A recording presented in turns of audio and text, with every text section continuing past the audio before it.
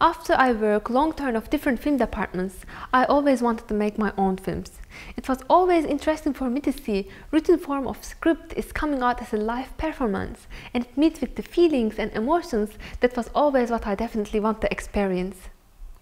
I started to collect uh, some stories. It took a very long time. I had many ideas, but I was never sure about which, how, and where to where I should have to start. I always wrote down uh, what emotionally touched me and made me feel way, uh, feel different.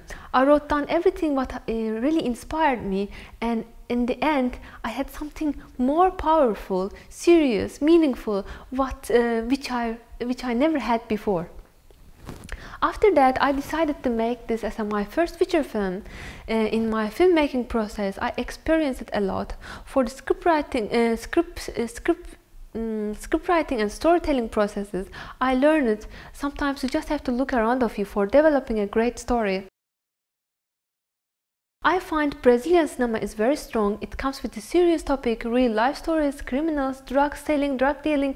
Most of the time, serious issues are the main ground of the Brazilian cinema, and that is uh, what I really like about it. And Turkey and Brazil, totally different countries are from each other, but I believe each country has the same similarity with a different story and different uh, time and different people.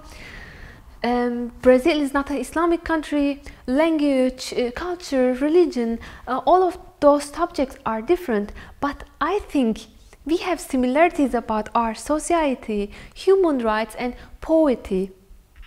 Uh, I have no idea how Brazilian audience will think or react about the Toprak, but I'm super excited about this journey. I just want to say I'm so glad to have this chance to bring my film out of my country to another country. I am inviting everyone to watch my film and feel the speed of the life, how it goes on another side of the uh, world. Um, my film Toprak couldn't make the Turkish premiere yet um, because hometown, my hometown city, didn't find the film enough for their film festival.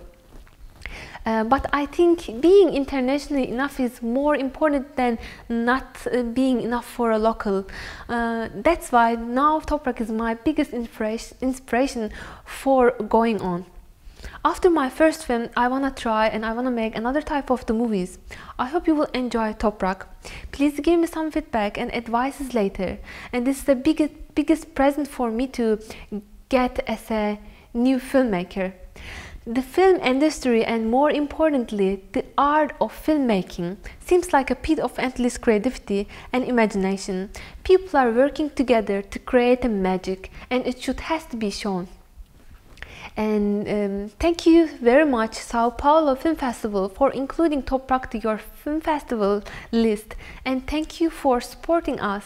That is a big honor for us. And um, obrigado.